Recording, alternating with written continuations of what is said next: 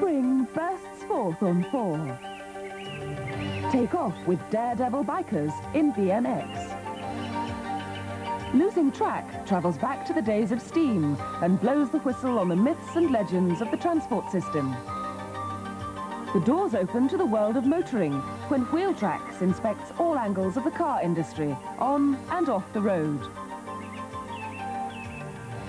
The scenery of the Lake District provides the backdrop as Chris Bonington drops in for a series of Lakeland rock climbs.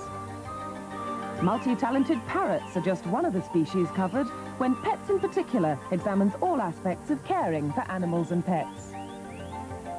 And Ever Thought of Sport, this Wednesday at 6 o'clock, shows how you can involve yourself in a variety of adventure activities.